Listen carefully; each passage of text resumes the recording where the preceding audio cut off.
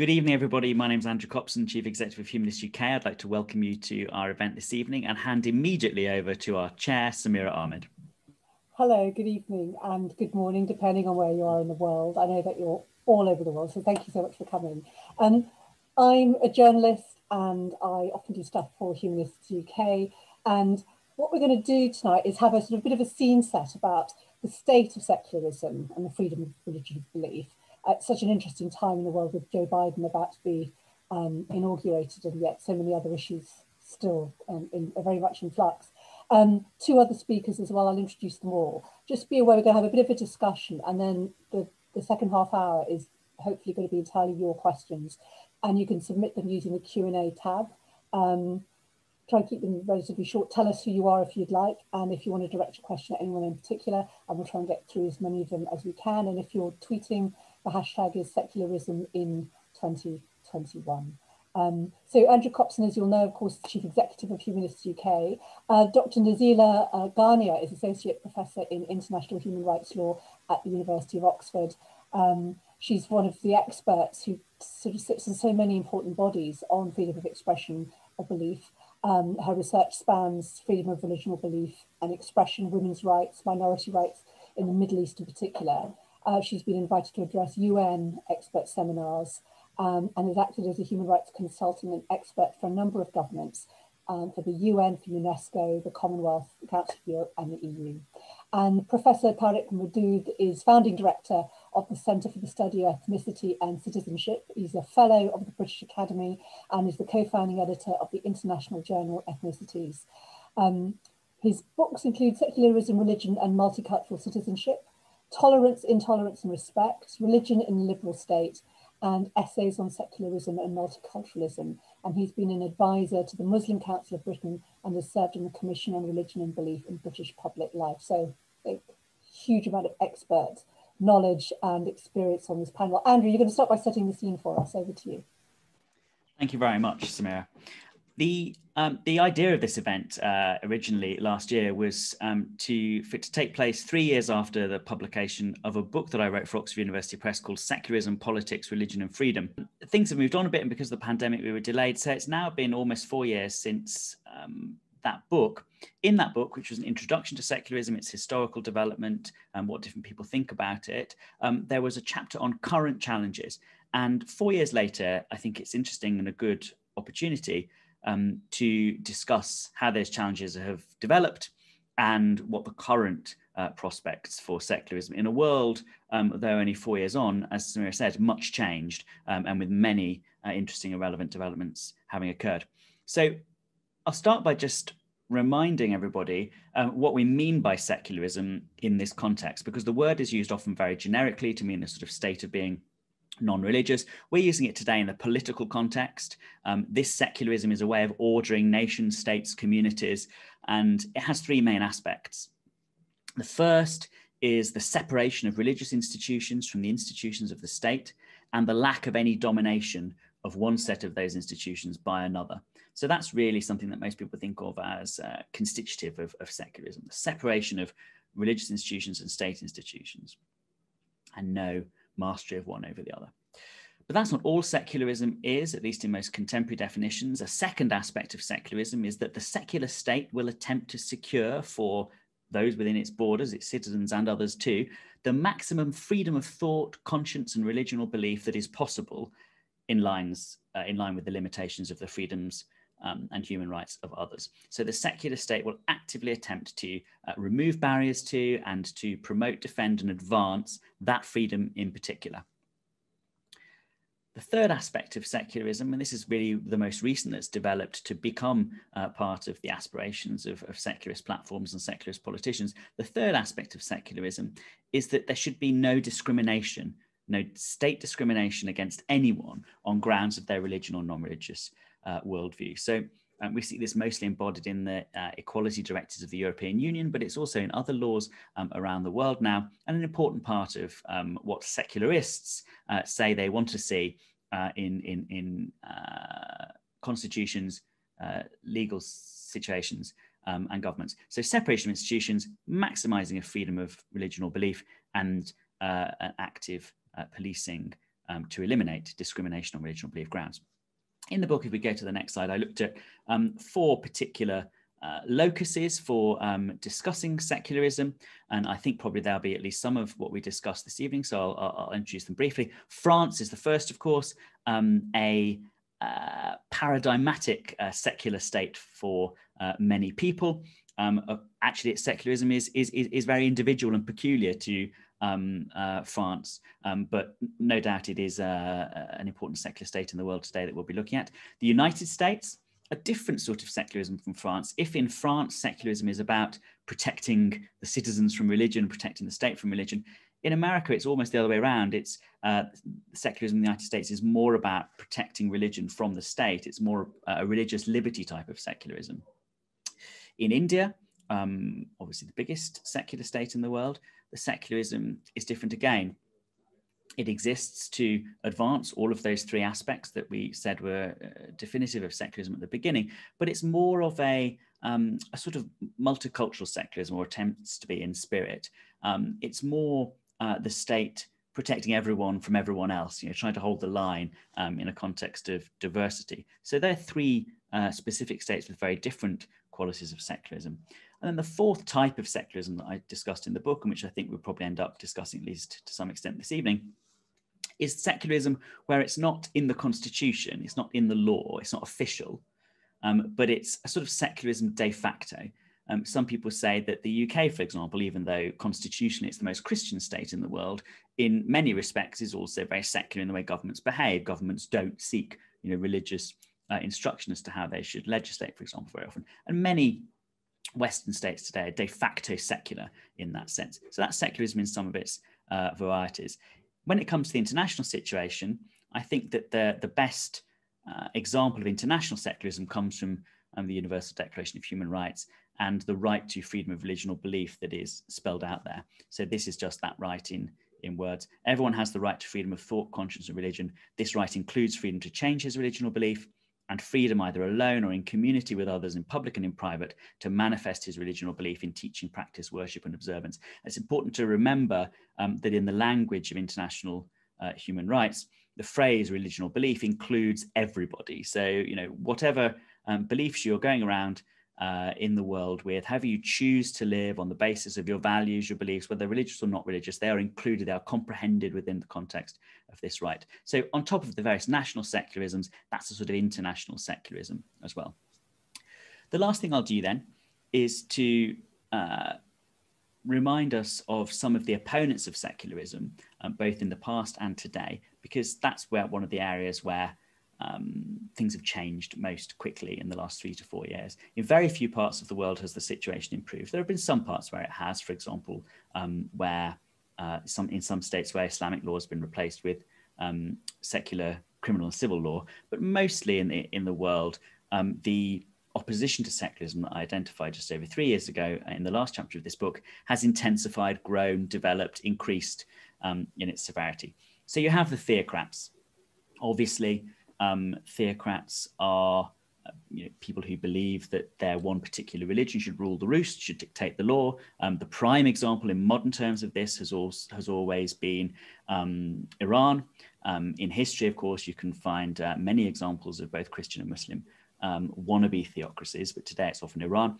But this is also true uh, of the way many American NGOs behave outside of their own country, internationally, for example, um, pursuing uh, theocratic agendas when it comes to the way they export uh, or attempt to export um, their values together with American money around the world. Established church advocates, um, this is uh, particularly prominent in, in Western European countries like England and in Denmark, um, where opponents of secularism say that instead of um, being um, impartial in matters of religion, the state should sort of lead from the front with a particular strong religious identity and then gather everyone else um, under that umbrella as a sort of multi faith protectionism. Atheist totalitarians, um, the flip side of the coin uh, of theocrats in many ways. This is an area where things have developed a lot in the last uh, three to four years. Only tomorrow, our Parliament in Westminster will be um, debating the genocide of the Uyghur people that the Chinese state is implementing um, currently. Um, that's become a much uh, bigger theme. The, the implacable hostility of China towards any beliefs that conflict with its own agenda has become more and more obvious in the last three to four years. Ethnic conservatives, um, people who say that national identity shouldn't be secular, but instead should be wedded to certain other characteristics, um, race, uh, religion or belief, ethnicity. This is another area where things have um, developed in the last few years. We see right now um, in India the way that uh, Hindu nationalism in the government of Modi and the wider social and cultural movement that that political movement is part of has continued to cause severe oppression um, for all minorities really in, in, in most parts of India, but certainly Muslims and non-religious people, especially organized non-religious people, humanists.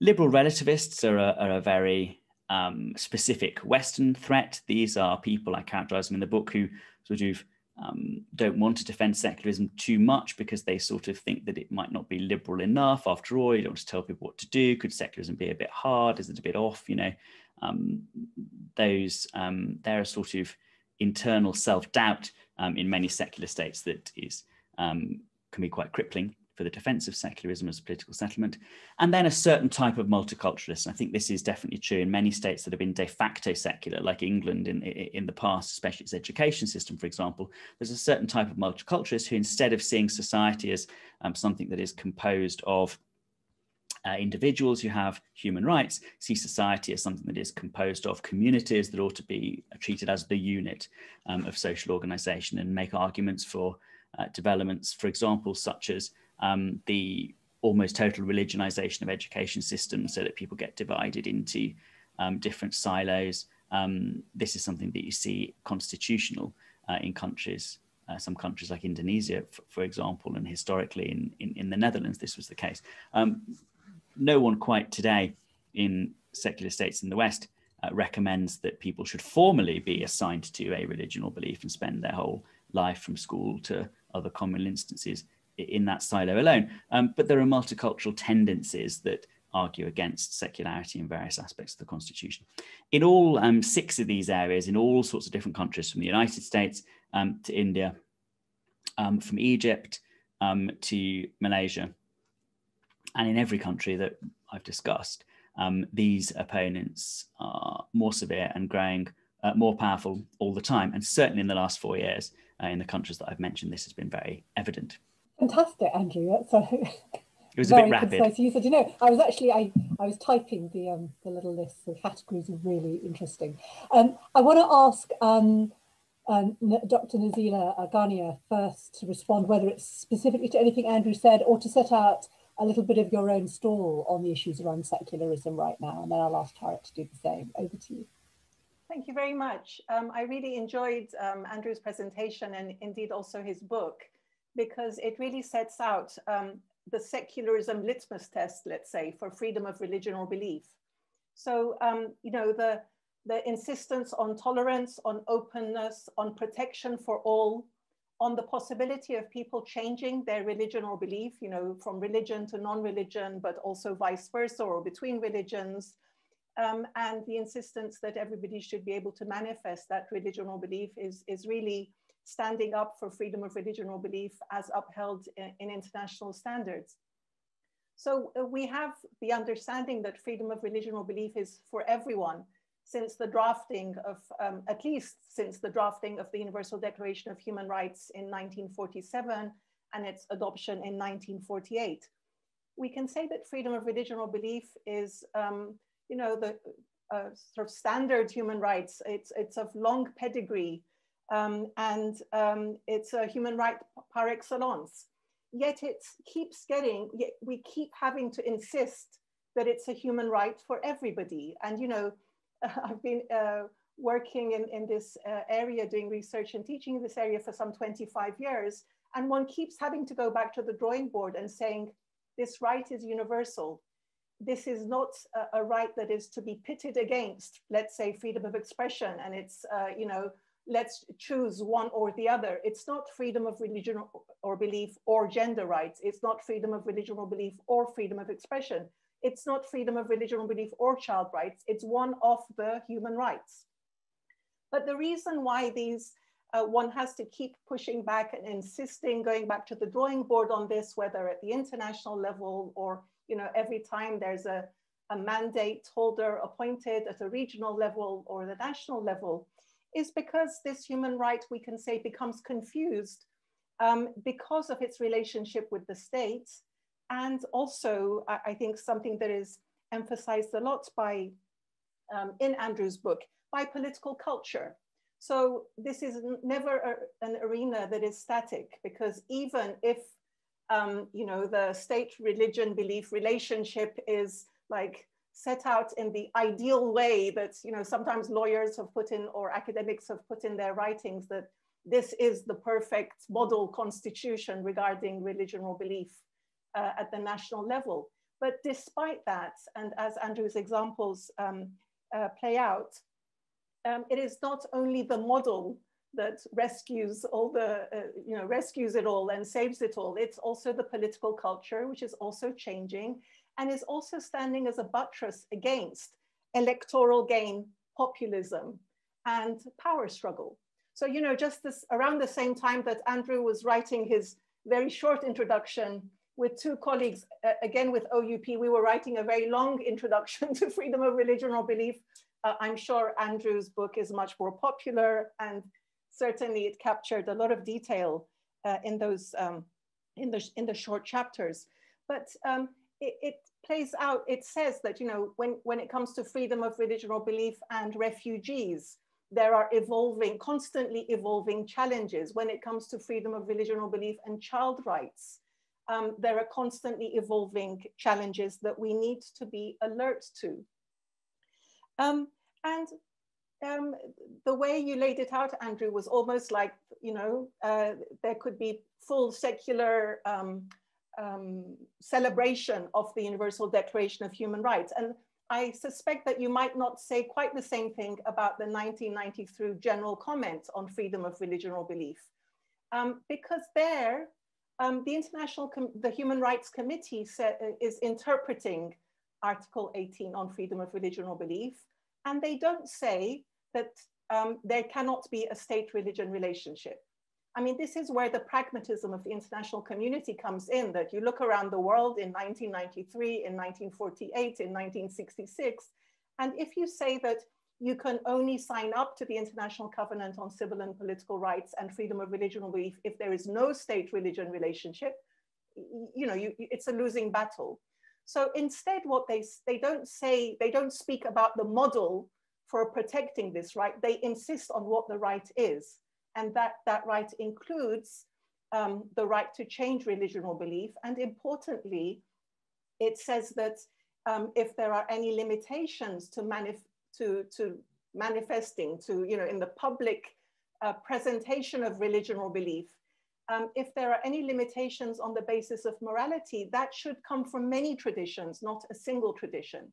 So again, that is a protection saying that you cannot use religious, the state-religion relationship and religious law and through the back door of morality insist that everybody become uniform. Uniformity is not a protection of of um, human rights. So, um, they also say that if there's any restriction uh, and limitation on freedom of religion or belief, effectively the, the onus is on the state to show that this will not lead to discrimination. And it will not lead to discrimination against others, against the minorities, against those that are not in power, against, uh, you know, not just what is the norm in that society or the majoritarian perspective, but against all. So I think this, we need to be constantly vigilant and aware of the minority.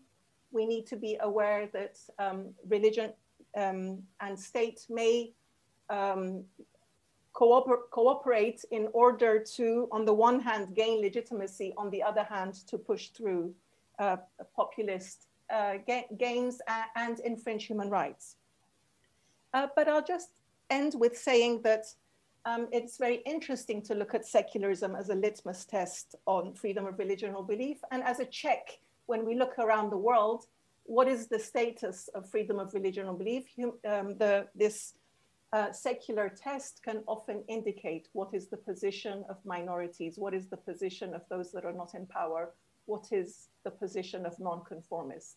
And it also protects religious minorities. So perhaps that's not the aim, but effectively um, they often stand together. And maybe I'll just stop there. Fantastic. Nazila, thank you so much. Um, and just to remind those um, who uh, perhaps joined uh, a couple of minutes in, uh, you can submit questions via the Q&A tab. We're going to be taking um, audience questions shortly, but our panelists are just setting out sort of the, their general kind of approach to thinking about secularism. So um, Tariq um, Modood, over to you. Thank you, Samira. Yes, so I'll set out my approach in a, in a few minutes, which goes something like this. And, and my focus is very much on Western Europe. Um, political secularism seemed a settled issue in Western Europe um, for a long time, you know, for the best part of the 20th century, for instance. And it was probably really just in the 1990s that it began to uh, have some debate and discussion, uh, theorizing and controversy. And there are a number of reasons for that.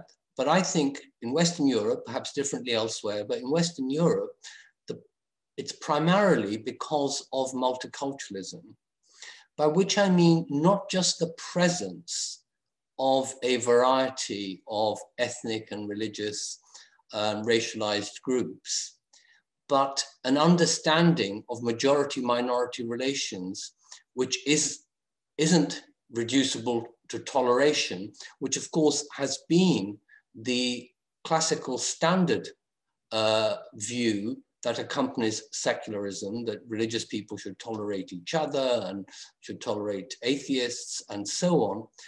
But the central concept for multiculturalists is that of recognition that identity groups, ethno-religious communities, as well as other kinds of uh, ethno-cultural communities, should not just be tolerated, but should be allowed to uh, be part of the shared public space. That includes the political space, media, uh, public education, uh, shared uh, civil society, and uh, other kinds of uh, institutions, obviously political and so on, that ethnic minorities should be able to present their identity in that space. They shouldn't have to privatize it and be excluded from that space because a majority identity uh, has a monopoly over, over that space.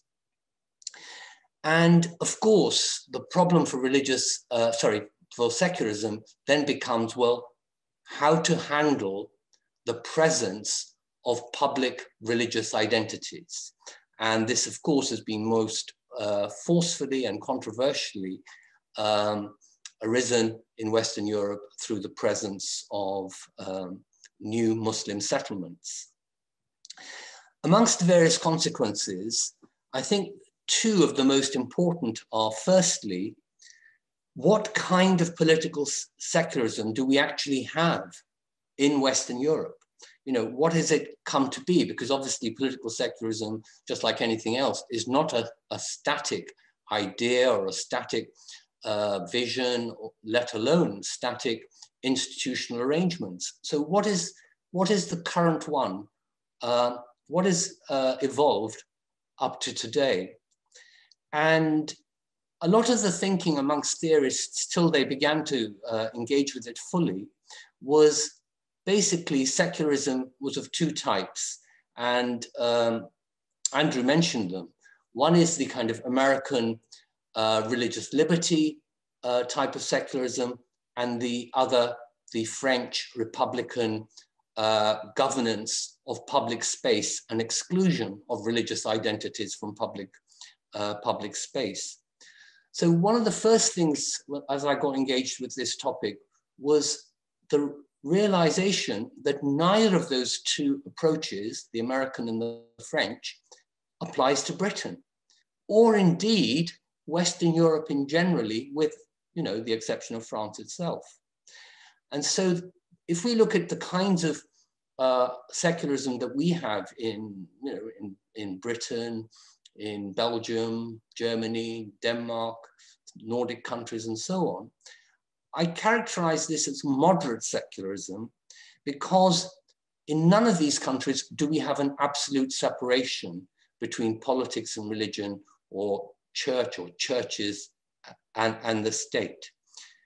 Separation is important insofar as it does inform uh, the design of institutions and uh, political and legal norms, but it's more accurately captured in the idea of mutual autonomy. That is to say, religion and politics have different, uh, are different modes of authority, and they can support each other, and that can be a good thing. It's not, it's not a bad thing, but they shouldn't dominate each other. So certainly for secularists, uh, religious authorities should not dominate politics, law, state, and public, public life. And yet this moderate secularism, uh, and therefore the kind of connection or disconnection that there is between religion and the state, has to be evaluated not just in terms of ideas about freedom, but also, and this is what I say is actually the case. I'm not recommending it. I'm saying it's actually the case, though I do uh, think it's, it's, a good thing, has to be evaluated in terms of a notion of public good and public identities and their institutional accommodation. So it's not simply about rights of individual freedom and conscience. The second implication that this Sorry, has, just to warn you, because of we got we're into the last half hour now, and I'd really right. like to get to questions soon. Okay. So do finish your point, but just be aware we'll get going. Okay. questions then. Thanks. Yeah, thank you, Samira.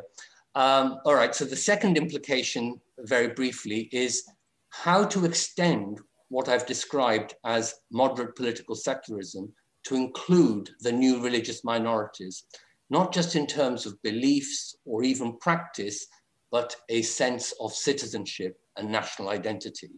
And I call that multiculturalizing political secularism.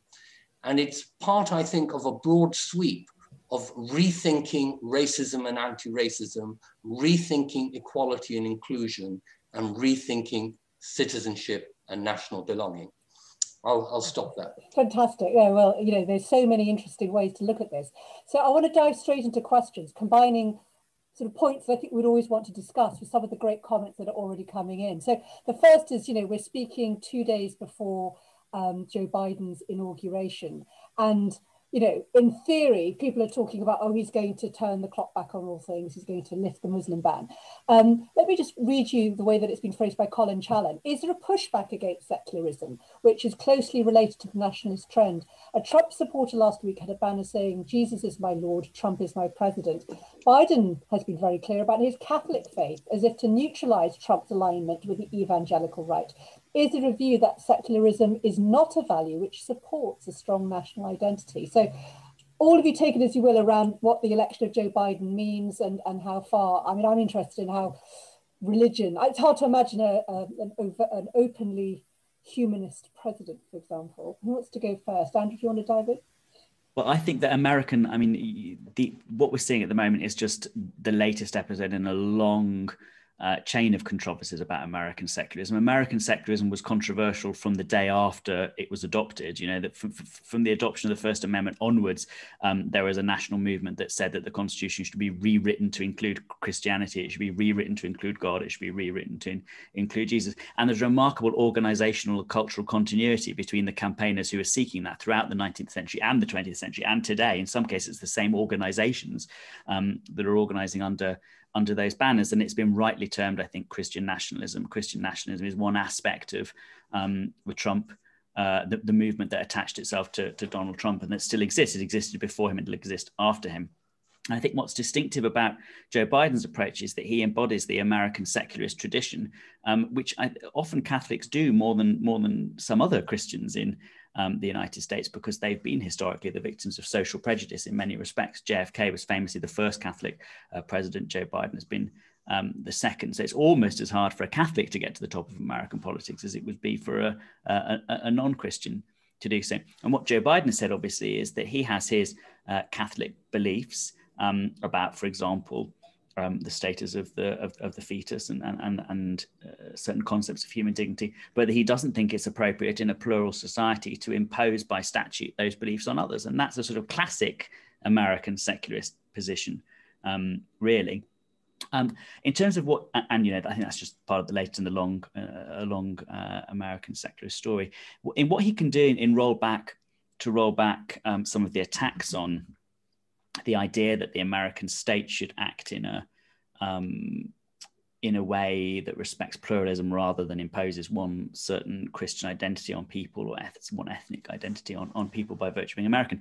He, he obviously can roll back all the executive orders that refer to national and international um, uh, rules, for example, on preventing uh, funding going to public health measures across the world if they include abortion in them, for example, which is one of the one of Donald Trump's actions. He can roll back um, stuff like the ability of federal funding to go to organizations that discriminate in employment or service provision on, on religious grounds, all of which has happened under, under Trump. But what he probably uh, can't do um, is act as an effective check on the erosion of secularism at the state level.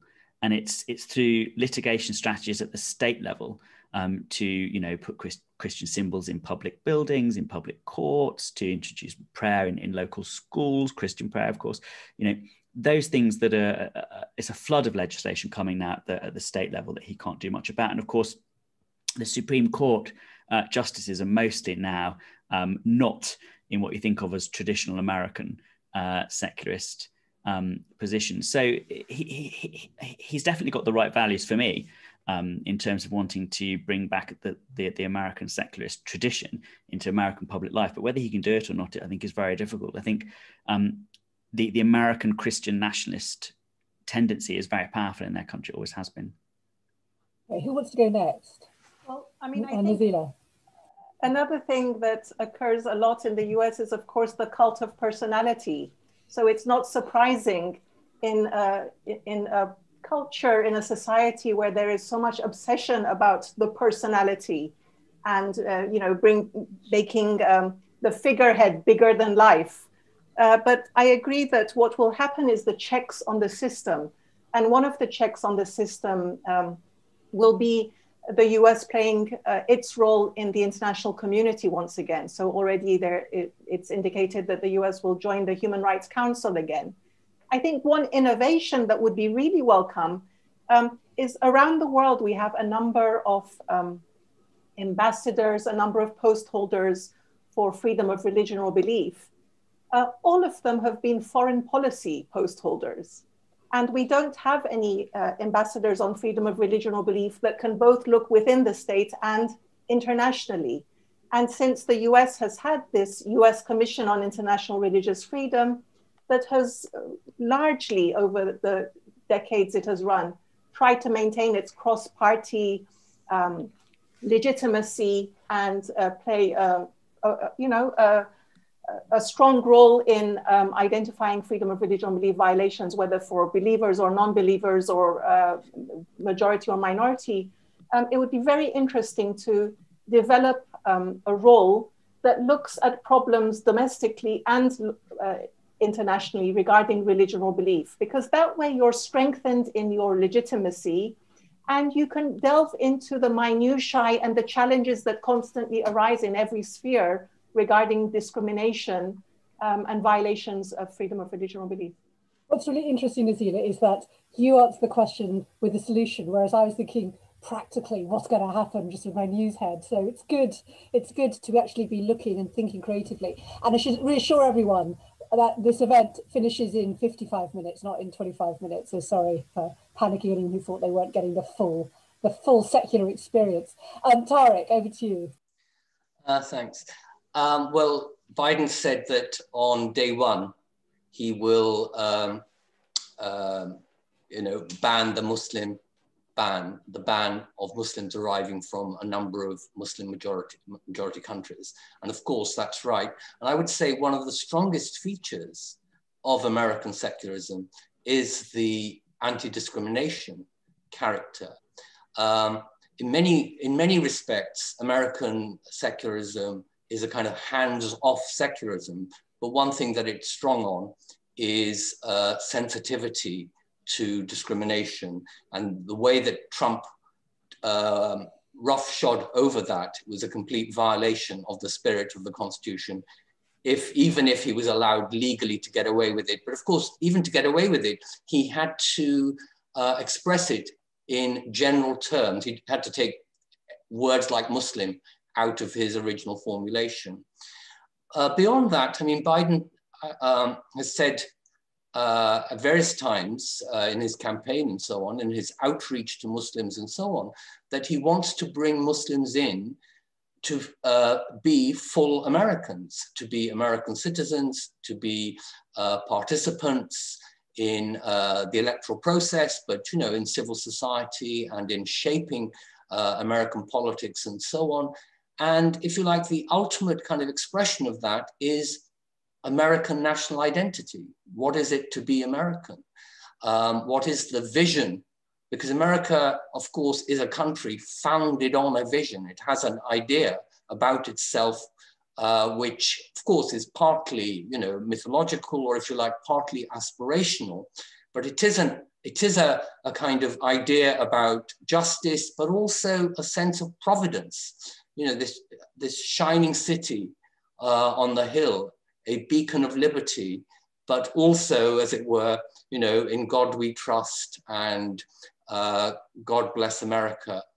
And I think one of the things that uh, has been happening, was happening in the 20th century was people like um, President Reagan and others started talking about America not just being a Christian country or a Christian idea, but a Judeo-Christian one, which I thought was very interesting. Of course, it's discursive rather than in terms of policy. And then Obama said, well, surely a time will come when we think of America as a Judeo-Christian Islamic country. And I think that's right, that America has this idea of um, hyphenated identities. You know, you can be Irish American, Catholic American, Hindu American, and so on. And I think uh, the progressive side of American politics should develop this idea of a multicultural, multi-ethnic, multi-faith American identity. Thank you. Um, and I should say, I know there are more questions uh, with a, a, particular focus on issues in America, which I'll come back to, but just to sort of discuss some of the kind of big um, issues that are out there, I wanted to ask about the role of culture wars, was something we saw happening very much in the States, um, but it's definitely something which is happening more in the UK.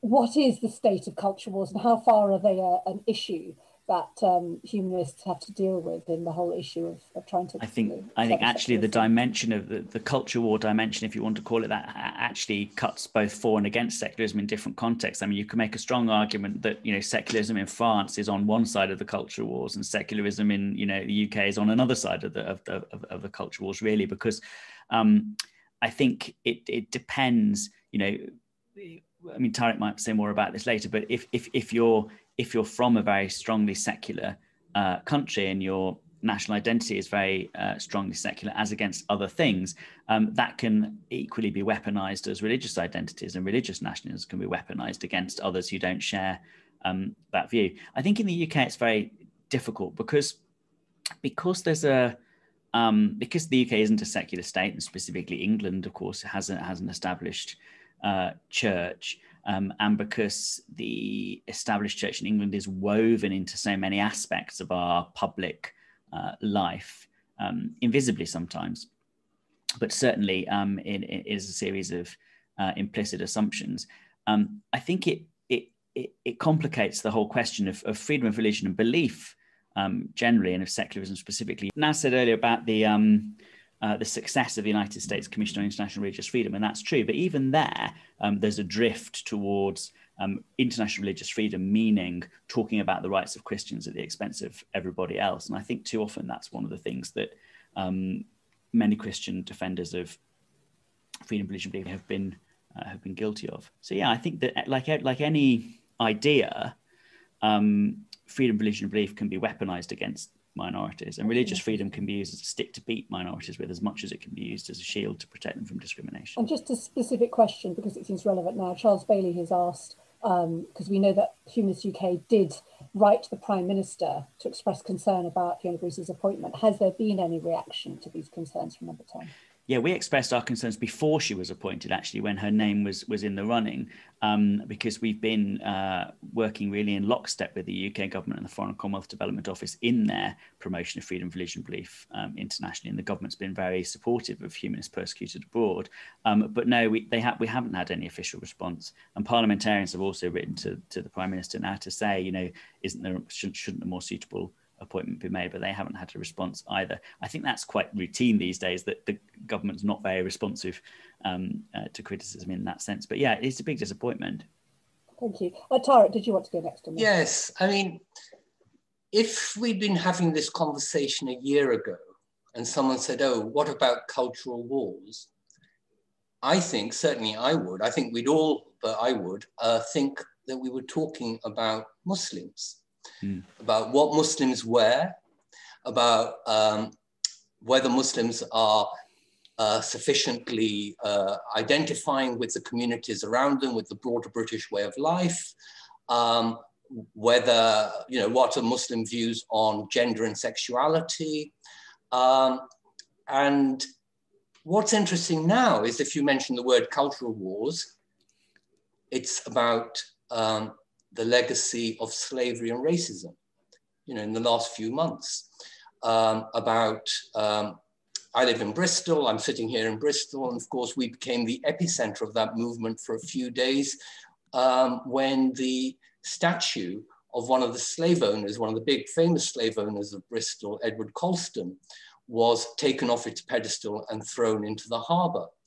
And that's now become a big national, indeed international, international debate and is part of something larger called uh, decolonizing uh, Britain, decolonizing our ways of thinking and the way we look at history and so on. Um, and one of the reactions to that, one, you know, one of the positive reactions to that has been, so I listen to a lot of Radio 4 and I read The Observer and The Guardian. And I see say, which are considered relatively liberal and even left wing in some cases, certainly Guardian. So. Right. And what I've noticed over the last few months is a lot of programs and a lot of you know features and interviews and uh, coverage of issues of concern to Black people, raised by Black people, programs hosted by Black people, programs uh, looking at aspects of Black culture that had been marginalized um, and investigating the presence of Black people in British history and so on.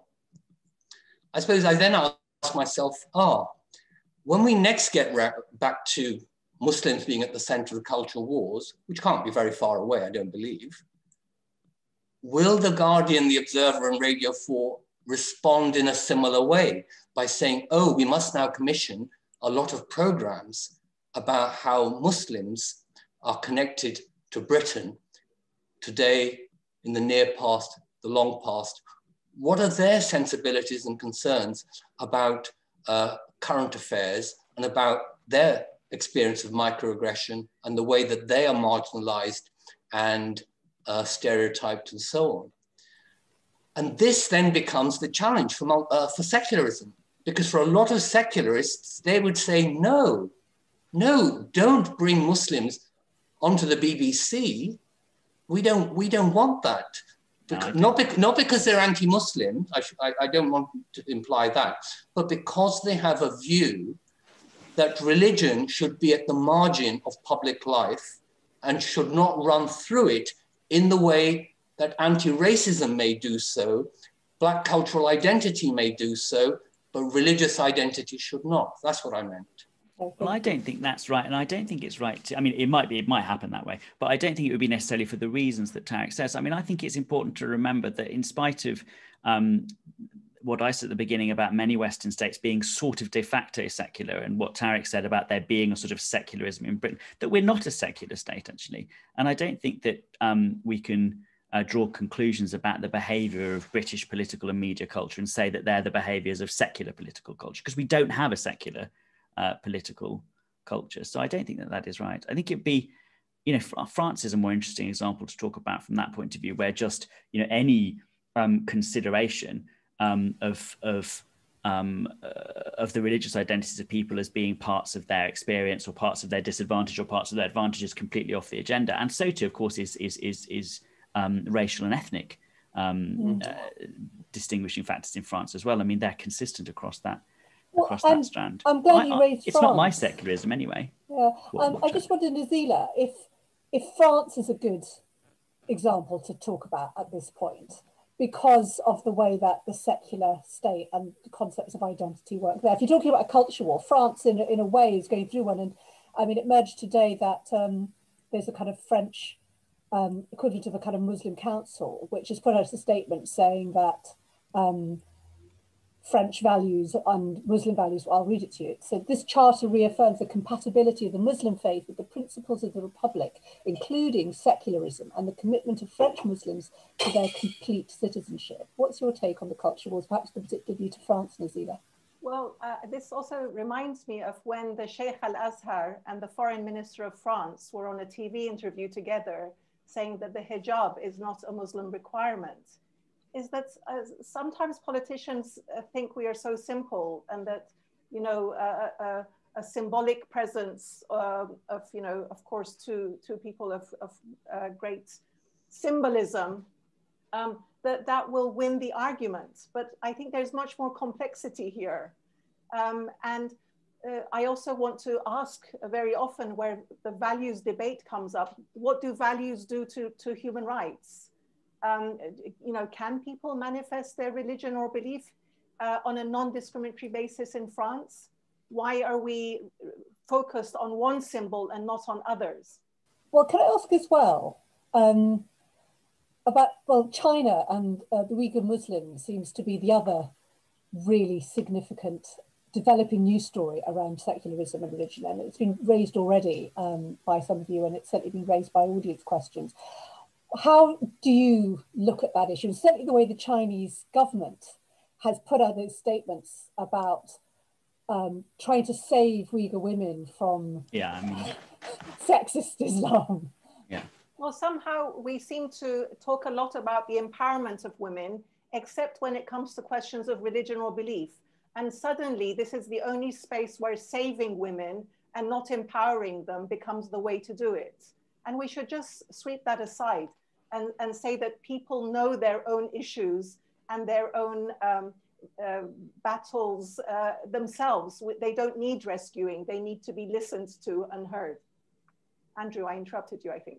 No, not at all. No, I mean, I, I, I completely agree with what you're saying. I was going to say the same thing. You know, it's it's it should be as unlaw. It should be as inappropriate. It should be, we should, secularists should see it as as inappropriate to ban the hijab um, in China as it is to require it in Iran.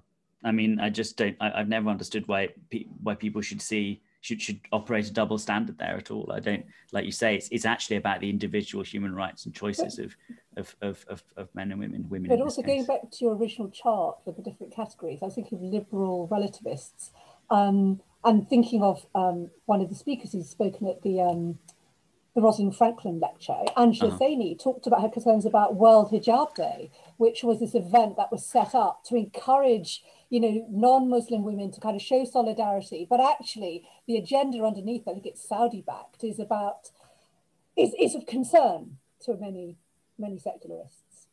Yeah, I think it is. And I think that's right. And I think this is the flip side of the sort of social movements that Tariq was talking more approvingly of, you know, is that the idea, okay, so we want to this is a fundamental difference, I think, to some extent between what Nazila has said and what I uh, uh, align myself more with, and what Tariq has said. Um, in that, I think that, and the sort of secularism I support, treats people as um, individuals who are the bearers of human rights which apply universally. And one of those rights is to be able to have freedom of thought conscience and religion or belief you know to the greatest extent po- compatible with the rights and freedoms of others as, as, as nazila said you know that's got to be um, part of it too. And i think that that is the unit the, the, individual human being is the unit of that we should be using as the unit of our discussion here not groups because i think that complicates things um, and, and can lead to really inappropriate or patronizing uh, campaigns like World Hijab Day um, that can also do real damage. I think you should talk about, in that case, talk about an individual woman and the state not interfering with an individual woman's um, decision to wear X, Y, or Z.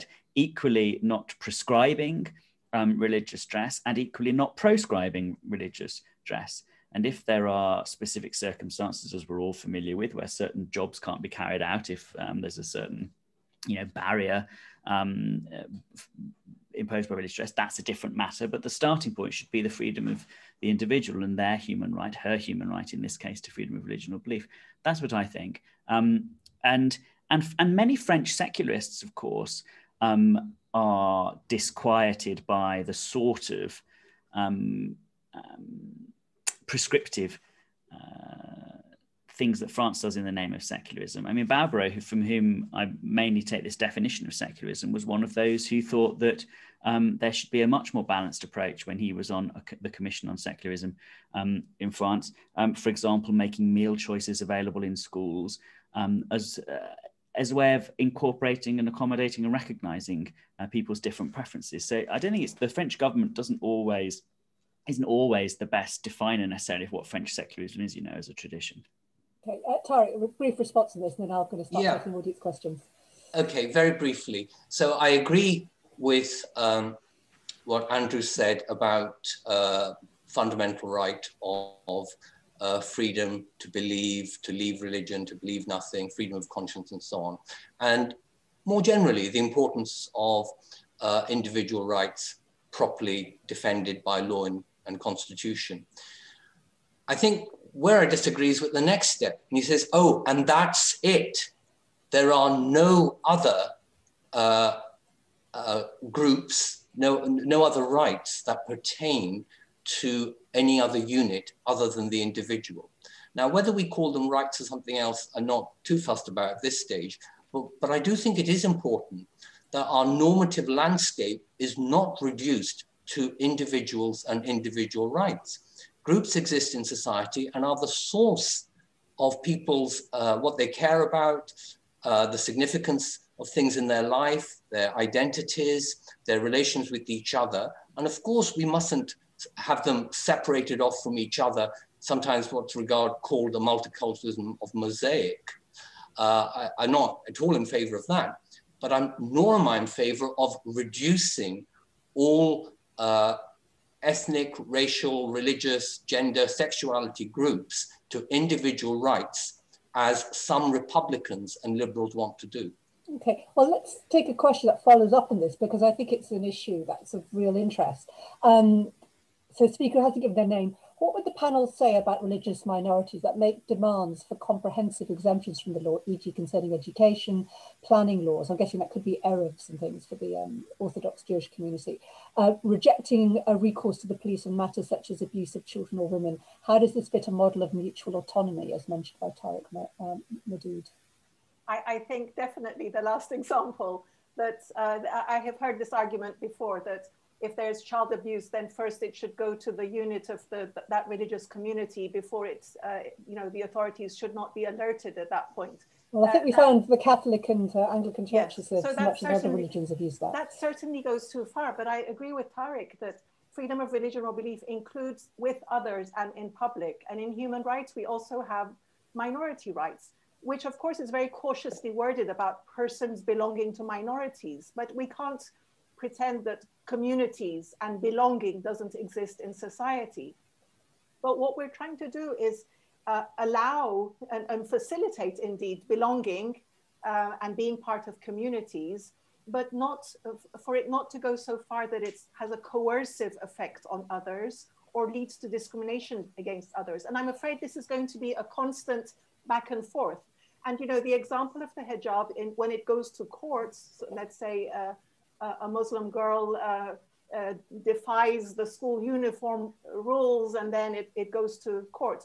The, the first question is, why has it been suddenly taken to the Supreme Court? Why couldn't it be resolved locally? One of the reasons for that is that culture wars is that we elevate something rather than trying to deal with it at the local level wherever possible. Of course, sometimes they will go to court, and those courts precisely look at whether the daughter was pressured by her father or her brother the context will matter.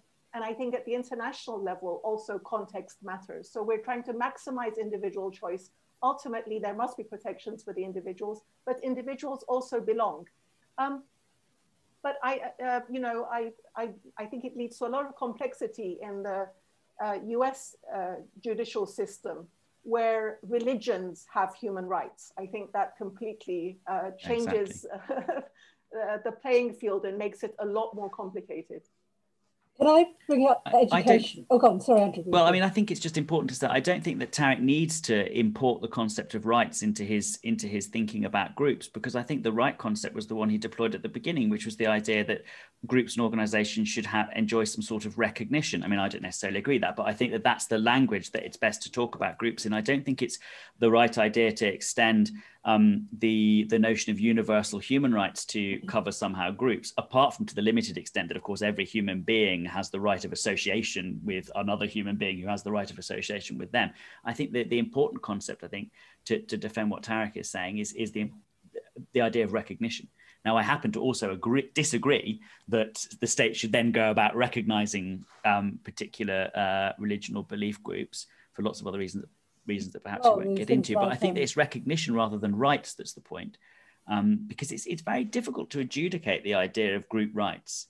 Um, I don't know how you would even even well, you start. start to get into things like Sharia courts, which is right. And the moment that one dissenter stands up to say, "Well, no, not me," what does that mean for the group? Who speaks for the group then? How can the group be legislated yeah. for? Let I don't think res- that. Yeah. So respond to this, and then here here is uh, a way of trying to meet you halfway, Andrew uh, between recognition and rights. I'm not saying it'll work in all cases, but nevertheless, I think this is quite an exemplary uh, way of looking at it.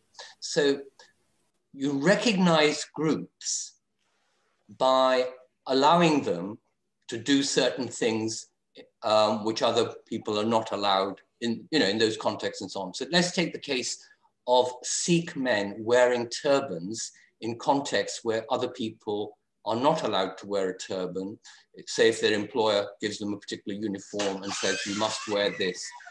Um, so here, we could never come up with this idea that Sikh men can wear a turban without having some idea of a group, namely Sikhs. What is it to be a Sikh? What are their uh, requirements and obligations and so on? But the bearers of the rights are individual men, individual Sikhs who may choose to wear a turban or not choose to wear a turban. So we recognize the group because without that, the consequent right doesn't follow, but the bearers of the right are individuals. Oh, I disagree with that because I don't think you need to recognize group membership. I'm, I, I would give actually more extensive um, recognition to the individual's freedom of religion or belief than your example implies, because I say it doesn't matter if the man with the turban it can plead a group in support of his turban. It only matters that he, in his conscience, believes that it's part of his personal religion to wear the turban. And I would say that the state has a duty um, to extend to that man um, the maximum accommodation possible of his religion or belief up to the limits of the rights and freedoms of others, regardless of whether or not he is the only turban believing person in the world and there's no group attached to him, or whether he's the member of a group. So I don't. I think that. I think I, I want okay, to make Nazila, it, final word on this. Samir, if I, if I, if I could jump in yeah. on your shoes for one second. Um, of course, we have reasonable accommodation and we make exemptions and we, we allow because of reasonable accommodation and it's all matters of conscience, whether religion or belief. Um, but I think what is more interesting is um, do we make a difference between claims of conscience, whether religion or belief, or political thought? And I think this is where, you know, I think the line is actually conscience, that it's of a certain seriousness and cogency, and we give it a special attention. It doesn't mean we always accommodate it, but we try to give it um, a special attention and reasonably accommodate it. But we don't do quite the same with political thought unless that has become of such seriousness and cogency and coherence for the person that it becomes a matter of conscience. Okay, thank so you. I think that's what, more, like, I want to move on to education, which is such um, a controversial area when we try and think of, um, you know, a, a secular state. Um, is Carol Broom's question. Enforcing Christian worship as part of school assemblies is something I was bitterly opposed to throughout school and cemented my belief in atheism. Shoving religion down pupils' throats is totally unacceptable. And Tim McGarry, who's from Belfast, where we know uh, religious divide is very tied up with kind of political divisions. How do humanists argue against the right of religions to educate their children in faith schools? And I would just add for those who are not UK based, we're in a strange situation where the UK, in many ways, seems to feel like a secular state, but many schools are actually run by religious organizations. Um, and in the United States, where schools, certainly you know, state schools are all secular, religion seems to have a very, very strong um, role in public life. What are your thoughts on the issue of education secularism? Um, okay, I'll, I'll All right, go, for it. uh, so I think that a, the school should not be thought of as simply a state institution. So we send our children to school and the school becomes a loco parentis. So they look after our children, they educate our children, they um, you know, teach them various values and uh, how to relate to each other and so on. And, and obviously that's a very good thing. Um, and this is compulsory. If you don't do it, you can end up in prison. Of course, at the moment, we're having homeschooling, but you, you, you'll understand my point. So where there's a kind of compulsive loco parentis, parents should have some discretion on what takes place in that institution. It's a state institution funded out of the common uh, tax, but nevertheless, um, parents should have some say. What kind of say? Well, one of the things I think parents should be able to do is to uh, ask the school that the school uh, time or the school premises can be used for religious instruction and uh, religious worship. This doesn't have to be a curriculum lesson. It could be in the lunch hour, it could be after school, it could be before school or whatever. So it's not like the statutory Christian assembly, but it, it could be. I'm, I'm not saying it, it never could be. Well, I'm saying it doesn't have to be. So I think parents have, have a right to ask that. Of course, children should be able to make their own uh, decision at a certain age. Um, as well.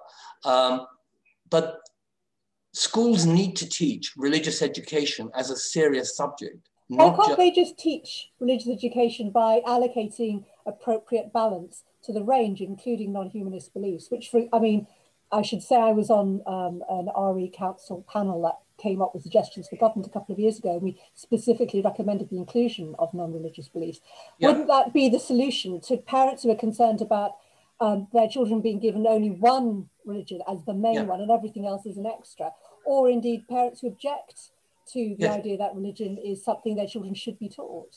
Yes, Samira, I, I think um, atheism, humanism should be included in religious education classes mm. because this is part of what religion's about.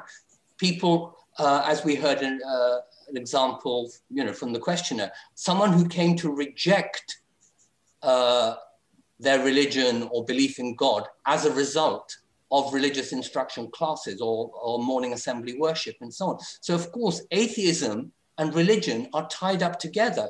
So if of course, atheism and humanism and the dialectic between different religious traditions.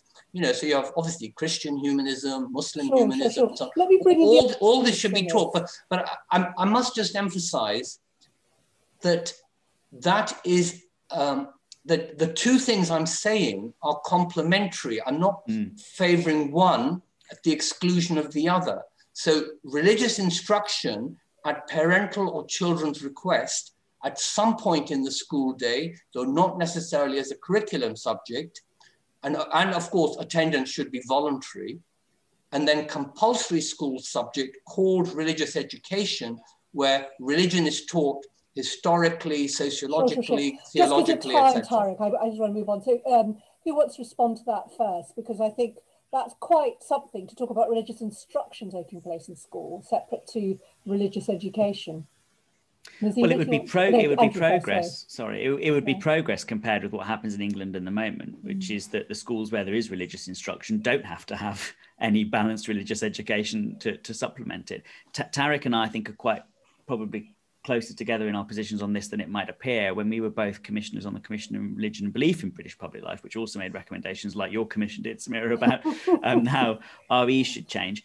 I think that we found that actually most people we consulted across the country of various different religions and beliefs actually had pretty coherent and consistent ideas about how this country at least should make progress in this area. And it was that there should be in all schools, which there isn't at the moment, um, a curriculum of balanced, broad, objective, inclusive teaching about religions and worldviews, including non religious worldviews. And that's what our commission recommended, certainly.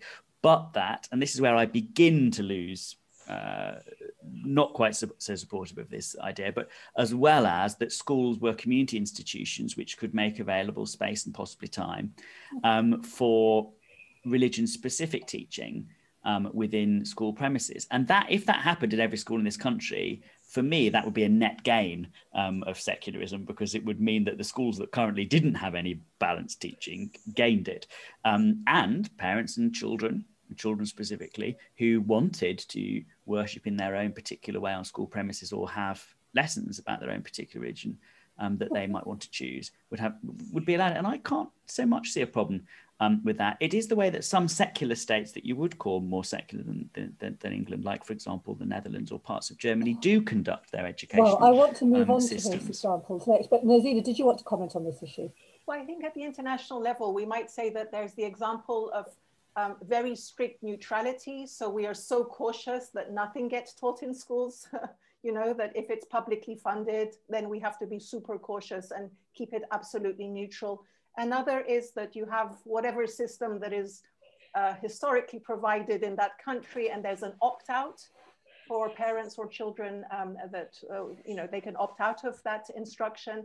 But I, I'm also leaning much more in favor of an openness and a diversity. I don't think uh, I agree that it would be religious instruction, but it's preparation for living in uh, the, the societies that we have that are very diverse. So knowledge of, uh, a, a, working knowledge of religion or belief and those that live, live around us. But I, I, I, think I'm not convinced that it needs to be religious instruction. Excellent, thank you. I want to read just a couple of comment style questions just that respond a bit to the discussion we just had on this topic. Uh, Paul Kay was talking about uh, the possible role of critical thinking logic and ep epistemology um, in the curriculum and whether it would be part of helping us reach a balanced secular society. I think the answer is yes. Um, so I'm going to answer on behalf of the panel. Um, and Kevin says teach religion without including atheism, humanism, etc. is tyranny. I want to bring up an issue which we sort of just about got to, which is how some other countries deal with it, especially in Northern Europe. And going back up high, I noticed Julian Baggini, who I've interviewed before, and I may have got your surname wrong. Is it Baggini? genius, right. The genius, right, thank you. Uh, Julian, the desire says the desire for nations to champion their historical traditions seems to be very strong. In Norway, taxes go to the Protestant church by default, but you can choose to give it to, say, a humanist organisation. And I think that's true in Germany, where the, of course, the yeah. on the right to be classed as religion and get their tithes.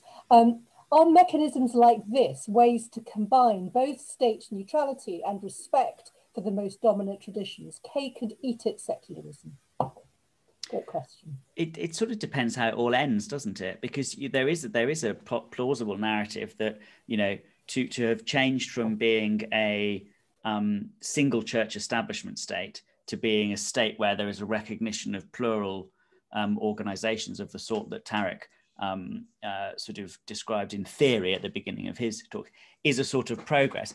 I, I, I, would like it to be a progress towards a situation where ultimately um, none of those organizations were so recognized or privileged. And I think that because um, I, I, think they have good reasons for thinking that because I think that to allocate people to particular uh, divisions in life, you know, ossifies those distinctions, privileges um, the distinctions that have come to us from history rather than allowing the uh, freedom of uh, dissent and um, the dynamism of, of, of, human thought that would perhaps reject categories and, and, move on.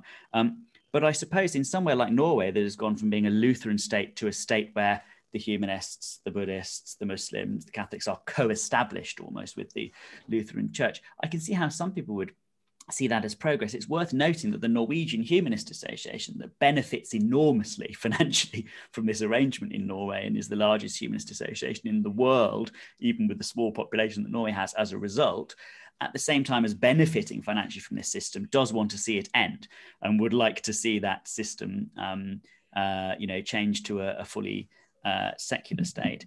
Um, and I think some some religious people who also benefit from, from it would like it too. So I think it depends on the on how wide you draw your timescale. If it's if it's if it's better than what went before it, then it's by definition progress. But I I wouldn't want to introduce. I wouldn't want France, for example, to, to become like Norway now is, because then that would be a retrograde step. And you but it's certainly issue of hmm. smaller religions, which will feel that smaller religions. There's a, a exactly. Of, there's know. a high threshold. You know, exactly. there's a big was a big debate for many years in in Belgium, which has a similar system of um, parallel state recognition um, a big debate for many years um, in Belgium about whether or not Buddhists could be accepted as part of the state. And I think that's a humiliating and um, degrading sort of uh, process as a person of any religion or belief to have to involve yourself in.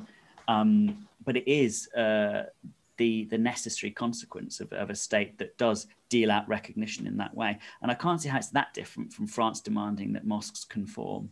You know, it's still a sort of state regulation of religion that I would find unacceptable. Yeah, no, I think I think it is. It is a. Tariq doesn't agree. There are all kinds of concerns about it. Um, I'll take brief responses on this too. From you know, Nazila, you were going to speak, and then Tariq as well on the, the sort of you can call it the Norwegian model, but the idea of the the automatic kind of allocation of funds that you can then opt to give elsewhere.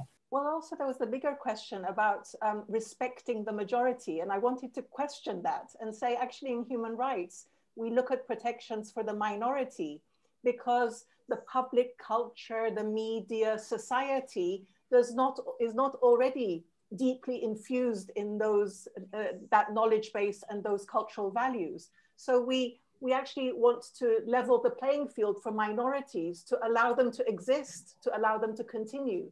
So this idea of um, respect for the majority is kind of uh, idiosyncratic, if you like. Um, when it comes to, I think there's a distinction between registration and recognition. In many parts of the world, religion and belief communities need registration in order to hire a hall, in order to um, be able to carry out charitable activities, even in order to be able to meet. But we need to make a distinction between that, uh, you know, of course, in the UK, we do it through ch the, the, Charity Commission, and it's a more general system of uh, allowing those activities and, and that legal existence to be able to carry out community activities. But that's very different to recognition. Um, Tariq. Yeah, so I'm not so um, against the idea of respect for the majority. Of course, multiculturalism is about protecting minorities and as Nazila says, making sure that minorities enjoy some of the benefits or at least aren't disadvantaged by a dominant or a domineering majority. And, and this can happen, you know, unintentionally, it doesn't, it doesn't have to be the majority trying to do it. But I've, uh, I come to the view that recognition needs to be reciprocal, needs to be mutual in the kind of diversity we now have. And this is part of uh, a response, you know, to the kind of cultural war situations where majorities, at least sometimes, uh, can have genuine grievances or at least need to be heard about what is uh, worrying them. As for the issue about the, uh, the Norwegian model versus the French model, aren't they the same once the state is involved? you know, why is it uh, wrong? It's no worse, I thought I Andrew was saying, for uh, President Macron to say how mosques should be run than it is for the uh, Norwegian state to support a thresh, slate of religions and so on. Well, I think yes, it, it, it, there's a big difference. Of course, you can have authoritarian state domination of the majority religion, let alone minority religions and so on, just because uh, moderate, multi, moderate secularism in the way I described it consists of state religion connections, doesn't mean that any connections are as good or as bad as each other. I certainly don't hold that view. And the problem about, well, what is the threshold and who decides and is it, isn't it an invidious process, deciding and so on? I think this is just a practical reality. I mean, if we think of, we, of our, what we call democratic systems, they all have a certain threshold before a group can have a view represented in, in the legislature or somewhere. However that threshold is constructed, sometimes it's officially, you know, you have to get 5% of the vote or something. And other times we have first past the post system like here, which is designed in such a way as to leave some people with no chance of being represented. So but I think I think we yeah. So what exactly? I mean, can they right, marry? Can cost? they bury? Can they meet? Can they uh, yeah, bring up their children in their tradition? So yes, you know. of course. Sorry, no. Um, state um, recognition. Um, usually, I, I, don't know very well the Norway case, but you know, a, a number of different cases. Say Denmark. Um, you, you have state recognition of religion that does give you certain entitlements and access to, for instance, uh, uh, educational funds. But that's not the same thing as recognizing uh, a religion as an association which uh, can do various things. Now, uh, in terms of marriage, well, I mean, the, the, the state has a, a, uh, a minimum civil uh, marriage arrangement and religious groups might want to add something to it, but they can't detract from it. They can't say, oh, we don't recognize civil religion as involving what you say it does, uh, because our religious tradition is that marriage is something other than that. Uh, I mean, polygamy would be, would, be, would be an example. So if a religious tradition said, we uh, believe in polygamy and so on, they would have to debate this uh, in, in public and, and try and get the law changed. It wouldn't be enough just to say, oh, we're Muslims, therefore we have a right, uh, you know, a legitimate right to do it. Okay, uh, because we're into the last 10 minutes now, I was trying to think of, of sort of a couple of issues that are being raised that would sort of draw us to a close. Um, and I wonder actually, maybe there is only a very brief answer, is how far the pandemic has changed the situation in terms of campaigning for humanism and secularism. It certainly feels in so many other arenas that it, to some extent, be an excuse to push lots of issues off the agenda and is of great concern, especially given that it does look as if we'll be living with aspects of COVID-19 for a long time. What are your thoughts on this? I think the pandemic has had an, a, a, a, devastating effect on freedom of religion or belief internationally, um, mostly because it's uh, exacerbated state persecution of people who were already um, scapegoated, um, marginalized. Um, so, you know, for example, uh, not you know non-religious people are Muslims in India, or um, humanists in uh, Pakistan or Nigeria. Um, both both have been subject um, to uh, heightened persecution during this period, Christians as well in, in various countries that we were hearing about in Parliament just a, just a couple of weeks ago. So it's exacerbated, but that's because the pandemic has exacerbated all human vi- rights violations everywhere, um, as governments have taken the the opportunity. You know, repressive governments have taken the opportunity while no one's looking or people are um, are busy um, to clamp down on people that they were already uh, clamping down on. Um, I think it's also raised practical problems, of course, for people who um, in, in, in situations of mass casualties haven't had the opportunity to to have the funeral arrangements that they um, might want. Um, that's happened even in the UK with people wanting humanist funerals and not being able to get them, or wanting to be um, buried and having to be cremated, or you know so on and, and so forth. But really, I think it's it's governments that have used the, for whom the pandemic's been an incredible opportunity to just increase their persecution of people while no one's watching. I mean, and Nazila will know more more, more about that yeah. because it's it's in freedom of conscience that it's been particularly severe. Nazila, thank you. Yeah, yeah, I totally agree. I, I, was waiting, Andrew, if you had a sort of a humanist particular account, but uh, but absolutely, what you describe as being tr true for the pandemic. Um, and you know, something that I was expecting to see in the UK that I haven't seen yet is that well, of course, the government has said you know, periods of the pandemic places of worship were open. And I was waiting for a place of worship to say, I open my doors on a Wednesday to other groups or on a Thursday to other groups. And we know that you don't, in, that minority communities, smaller communities do not have registered places of worship.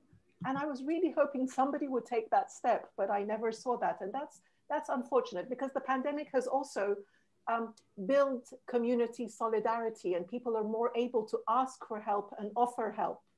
And I'm, you know, I, I want to see narratives at the community level that have um, been positive, but yes, let's wait to see if, if uh, you know, places of worship will open their doors to others to come and enjoy that benefit. Um, there's one question I think is a good general one to draw us all towards a close, is from John Bishop.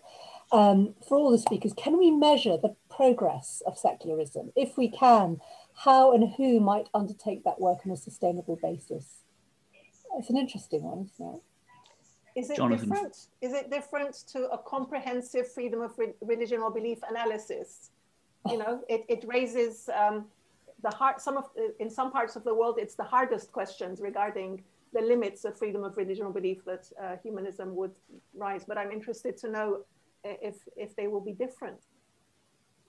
You know, I think secularity, secularism, the secular nature of the state or not, is something different from simply maximal freedom of religion or belief because it, it's a mm. commitment that's a political commitment as well as a human rights commitment. It includes the idea that, you know, there is just something um, both in principle wrong and in practice that will always be um, negative of entwining religion with state institutions. So I think separation is such a um, a vital additional part of secularism, including freedom of thought and conscience and religion belief, that the two analyses would probably be different. Jonathan Fox, I forget his university, it's somewhere in Israel, of course, has attempted to produce, but it's a bit like a sort of utopian project to try and even do the analysis, has attempted to produce this comprehensive sort of numbered system where he can rank countries by secularity. I think it's probably more uh, more difficult than than that. Uh, not who's, least because do, do you know who's top on his list, even if it is? I think it isn't it isn't it Sweden. I think it might be Sweden. Um, okay. Sorry, I, I, don't. I, they're, they're, not, they're, they're not exactly in, uh, uh, the distribution of countries on his scale isn't you know far fetched. It's just that the idea that you can add a number to everything and then catalogue it, I think, just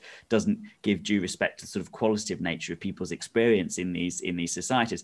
But apart from anything else, Nigeria on paper is a wonderful secular state but in reality, that, that doesn't happen at all. You know, the, the, state, even if it wanted to be secular, couldn't enforce its secular laws in Kano State. You know, the Abuja couldn't. Um, it, it, their writ doesn't run that far, um, and so it's it's very difficult to to to, to draw a um, to measure um, really progress in that in that sense. And of but course, secularists we, can never agree what progress is either. But if we do, at least we should not look just at uh, theoretical models. We should look at enjoyment in practice.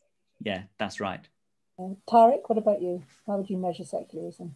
Um, I, I, don't, I don't, I don't know. Um, I, I don't work with um, these large data sets that measure attitudes and values. So I, I, think my answer would be very similar to what uh, Andrew and Nazila have already said to the, to the last two questions.